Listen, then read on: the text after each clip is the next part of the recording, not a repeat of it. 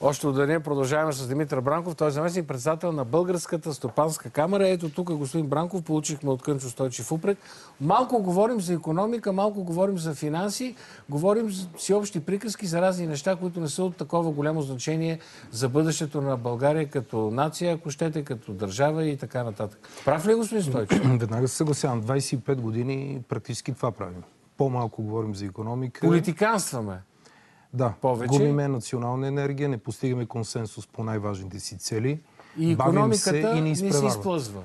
И ходим след а, събитията. Защо нямаме ние една политика, която да е изпреварваща? Да, да знаем какво ще направим след 3-4-5 години в областта на економиката, ако щете в финансите. Ето сега ще говорим за евро или лев, кога еврото да замени лева и така нататък. Ами ние и за, и за това не говорим. Спряхме да говорим. При тук миналата година имахме няколко дебата. А, да влезем в чакалната, да не влезем подготвени, не сме ли подготвени. И в крайна сметка обаче пак си говорим за такива неща, които ни плъзгат по а, периферията. Напълно съм съгласен. Този дебат като че ли спря от времената на господин Дянков. Нали? Това и предното правителство също направи стъпки в тази посока. Не Но можа формално нищо няма. Формално Ние има, подадох- има, има стъпки. а, на Сегашното, Е, сегашното правителство миналата година в средата юни месец, края всъщност, а, прие едно постановление, с което се А, рамкира. това го помня. се Ама то е вътрешно, то е за регулиране на, на нещо беше... Да, Поправете малко Значи, ако-. Не, то, да, то е постановление с а, приложение в а, законодателство, т.е. в правната рамка на страната, но аз поне не знам да са правени стъпки по неговото изпълнение. Аха. И по тази причина Стопанска камера излезе с една позиция, извинявайте, която даде, която всъщност настоява за простички неща. За повече информираност на обществото. Да. А, Аз бих казал, че а, царят масови заблуди по отношение на присъединяването на ефектите от него. Само ще спомена, че включително грамотни експерти, економисти имат съмнение по начина по който а, или а, по валутния курс, по който ще се присъедини България към еврозоната. А той, а той е записан. Той е този, той го има, този, той е който е закона. в момента и който а, всъщност е записан в договора за присъединяване на страната към а, на Европейския съюз. Още, ако не бъркам, Преди 2005 10 или 2006 година. А, м, втора голяма забуда, това е а, очакванията за една хиперинфлация, едва ли не. Дават се примери с Гърция, с Германия, дори за двукратен ръст на цените, но не се прави важното уточнение, че това не са страните аналози за България. Страните, с които можем да се сравняваме, са последните три страни, които се присъединиха. Кои бяха те? Словения, при Балтийските? Не. А, Естония, Словения Латвия и Литва. Словения и Словакия доста по-рано, но те И какво са... се случи в Прибалтика, когато Аз съм донесъл три еврото? справки за трите страни. Да, кажете ги. А, Така, с няколко изречения само опишете. най-важното. Първо няма, няма така, това, с което се плащат много хора, двукратен ръст на цените. Има Да. едни ръстове на цените, които са съпоставими с инфлацията в България от последните 3-4 години. Което е минимална, бих казал. Второ, имаме значителен ръст на частното на потребление. Трето, на ръст на брутния продукт, изобщо показателите си им по-добри от тези на, на българската економика в последните 4 години. Те също преживяха така наречения, на- наречен имотен балон. А, знаете, че се влушиха отношенията им с Руската федерация, но а, влизането в еврозоната помага за една по-лесна адаптация в тази турбулентна среда. А, другото, което ми се струва, че е важно да, да, да кажем, че ние се нуждаем от предсказуемост. Малките и средни предприятия, бизнеса, гражданите, всички ние трябва да имаме яснота по следващите стъпки и как би изглеждала тази рамка.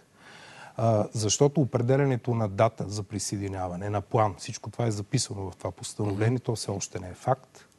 В позицията, която приехме... това мин- постановление няма дата, няма план. Не. В смисъл там времево не са определени нещата. Не са определени нещата. Важното, което може би трябва да се каже за това постановление, е определен един координационен съвет, който трябва да...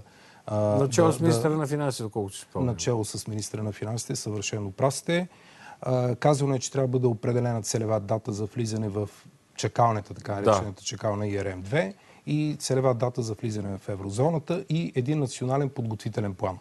Имаше една скорошна реакция от този ден на БНБ, може би малко след позицията, която ние публикувахме, но имаше такива официални изявления, че подходящото време да се определи целевата дата е тази година някъде към август. Тогава трябва да приключат оценката на активите на банките и а, така наречените стрес, стрес тестове.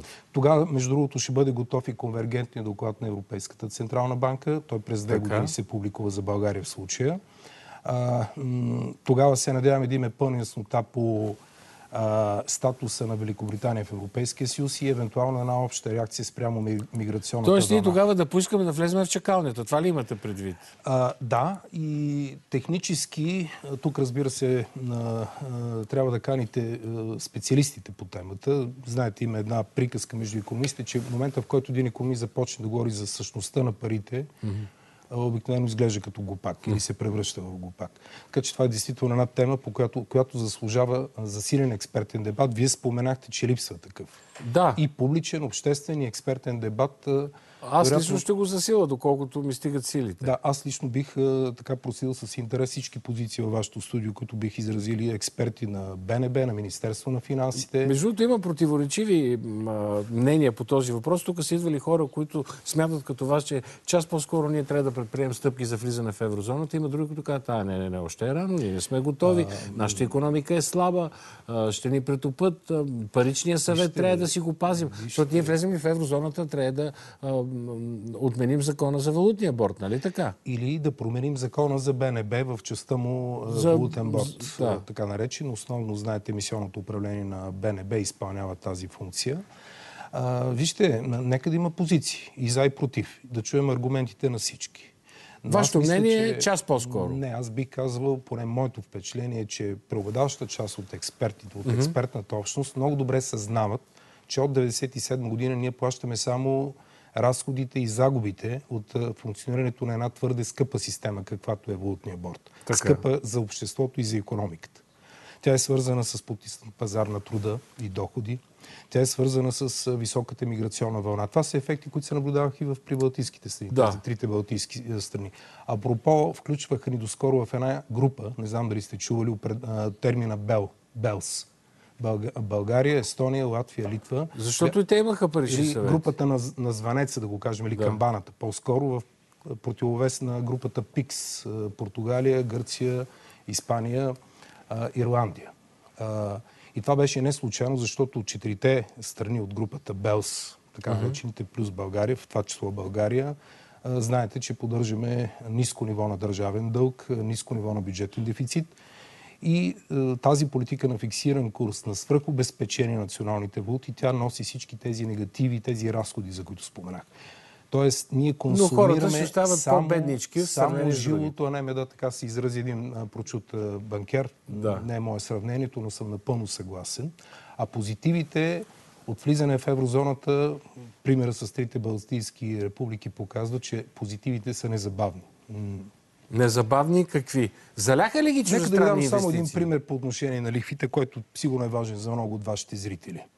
Ако вие в момента имате ипотечен заем на 6-7-8%, така? влизането в еврозоната, поне това е ефекта. Ще го намали ли? Ще намали лихвените нива минимум два пъти по отношение лихвите на кредит. Вие ще може да си рефинансирате задълженията. Сега не знам доколко ще бъдат доволни българските търговски банки от това, но това е ефект, който се вижда и в И това ще стане веднага след като еврото стане национална валута. Може да не стане веднага като ефект, но ще стане относително бързо. Добре, понеже ме провокирате, какво означава това, че БНБ обяви днес нулева основна лихва? Сега, това, това преди малко го прочетох в да, 24 часа.